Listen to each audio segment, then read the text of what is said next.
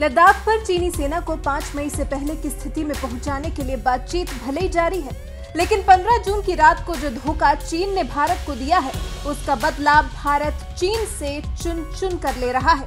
तभी तो चीन को भारत की तरफ़ से झटके पर झटके लग रहे हैं। और चीन भले ही दिखाए नहीं, लेकिन भारत का इतना बड़ा बाज़ार है, यहाँ चीनी ऐप्स को बैन करना, चीन के साथ किए गए करार को खत्म करना, चीन के लिए काफ़ी बड़े झटके हैं। लेकिन वो इस बात को कभी स्वीकारेगा नहीं, ये अलग बात है।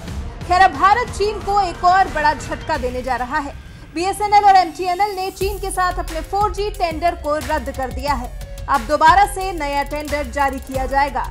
नए टेंडर में मेक इन इंडिया और भारतीय टेक्नोलॉजी को प्रोत्साहन देने के लिए प्रावधान होंगे।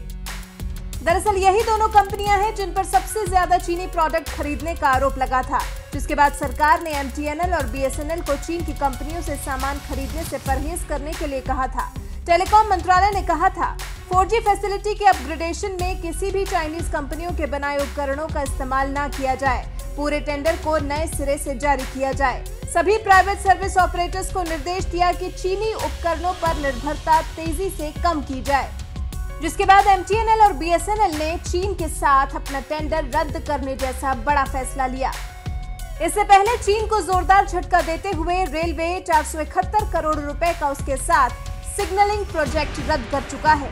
एमएमआरडीए ने मोनोरेल से जुड़ी चीन की दो कंपनियों का टेंडर भी रद्द कर दिया है। एमएमआरडीए ने 10 मोनोरेल रैक्स बनाने की बोली भी रद्द कर दी है। मेरठ रैपिड रेल का टेंडर चीनी कंपनी के पास था, इसे भी रद्द कर दिया गया।